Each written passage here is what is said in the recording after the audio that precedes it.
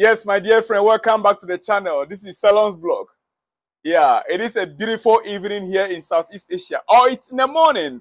We are, in fact, it's at dawn here, but you are still in your night.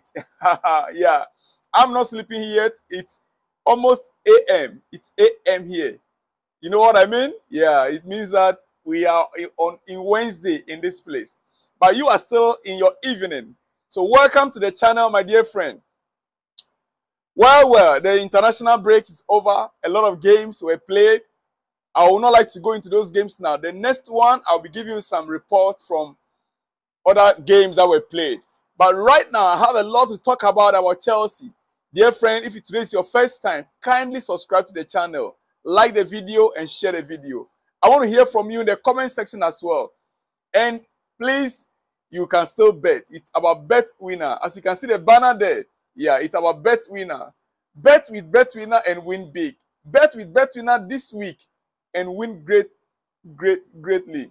Look, remember to use my promo code TIM1979, T-I-M 1979. The link is there. Click on the link at the description there and register with Betwinner. When you register with them, remember to use my promo code to bet with them. Team1979. That's T-I-M 1979 and win big. All right, let's get started. Going straight away into the news. Chelsea. Yes. The first here is from Jacob Burns. Jacobs Burns. Yeah. This is what he has to say regarding our striker options. Yes, I am hitting the ground running now. Our striking options. Jacob Burns I think that Chelsea sources have always made it clear that they are not going to rush on a striker and that means it could be January. But if not, it will be the summer. This is partly down to a faith in Jackson and Armando Broja. It's partly down to the fact that they've not seen yet the impact of Christopher Nkunku. So it's three things. Armando Broja and Jackson. The faith they have in Jackson and Armando Broja. Then thirdly, They've not seen the impact Christopher Nkunku will make on the team yet. So there's no need to rush into the market in January. I said it before in one of my videos earlier yesterday that Chelsea is not going to take hasty decisions. They are going to take time in a market in January to survey the market. If the players that they needed or they wanted, they are available in the market at a good price, they will go in for it.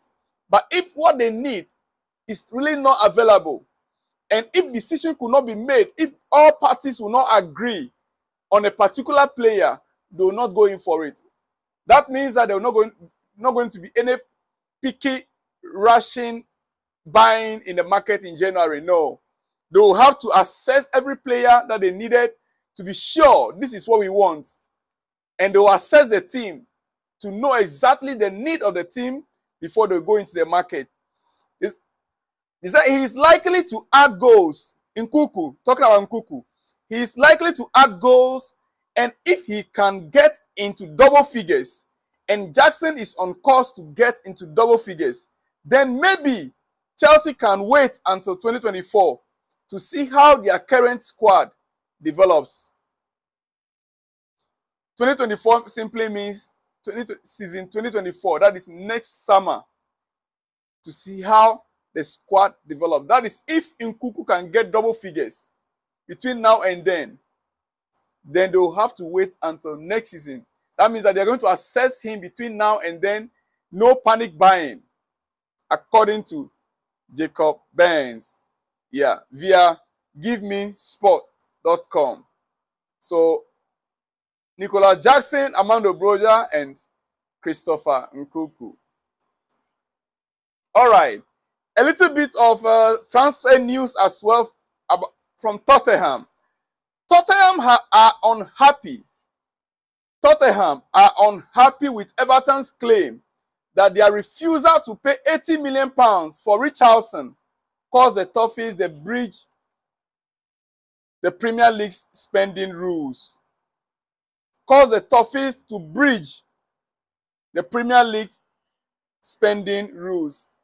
Everton are blaming Tottenham for what they are going through right now with the point deductions.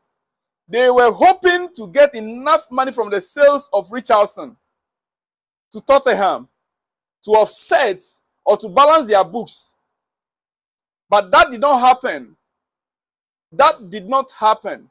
And that is why they could not balance their book. That is why they over, it looks like they overspent almost about 15 million pounds, which the FA now charged them, which caused them now the 10 points deduction.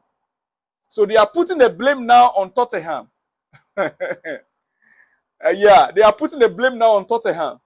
And now Tottenham are claiming they are not to be blamed.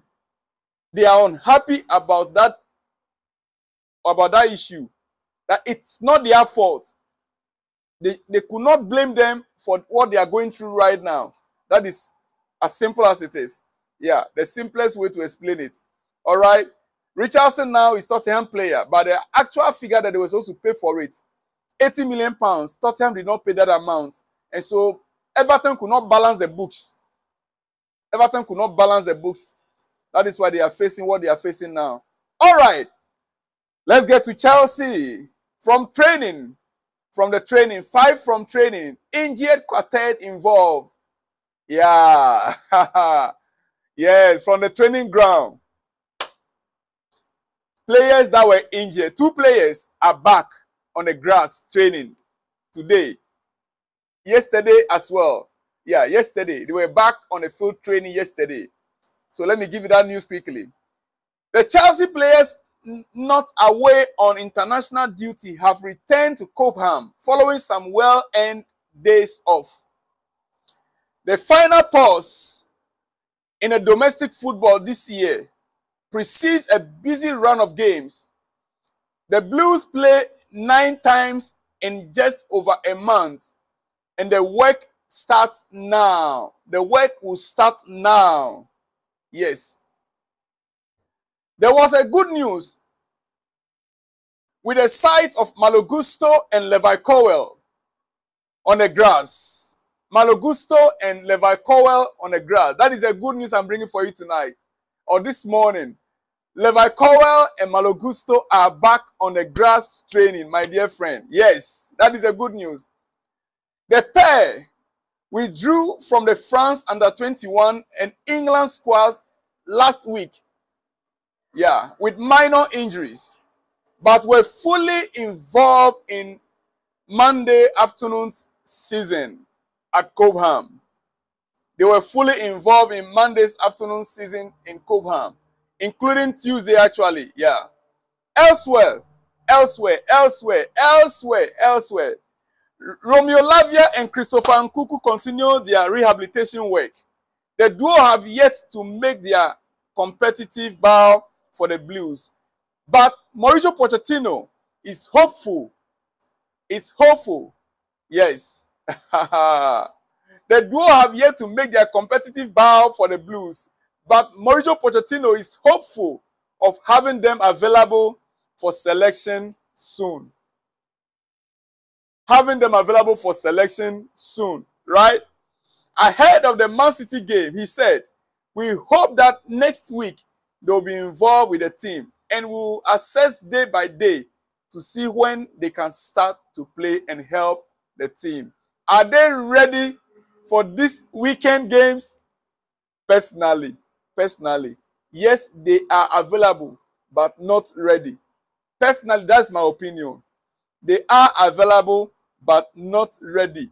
Maybe Nkunku, five, ten minutes, I suppose. Yeah. But Romeo Lavia maybe Manchester United game. All right. So as you can see them on the on the pitch, Reece James on the grass training. You saw Malo Gusto and Levi Colwill earlier on, right? Here you are with Cucurella as well on the grass. The old man, Thiago Silva, returned from Brazil and he's also on the grass training. Yeah. There is the very real possibility of a small piece of Chelsea history being made on Saturday. Should Thiago Silva feature, he will become the club's oldest ever outfield player. A key reason for that longevity is the work he puts in at the training ground and at home. And there is no sign of Thiago letting up yet. There is no sign of Thiago letting up yet. On that note, my dear friend, I will leave you here and I will come back with more exclusives and breaking news if there is or if there are any. I'll see you in the next one when you see me. Remember, it's Bet Winner, Bet Winner. Yes, click on the link at the description there. Register with Bet Winner and bet with them. Use my promo code TIM1979. T I M 1979. All right, I'll see you on the other side when you see me. Shalom and peace.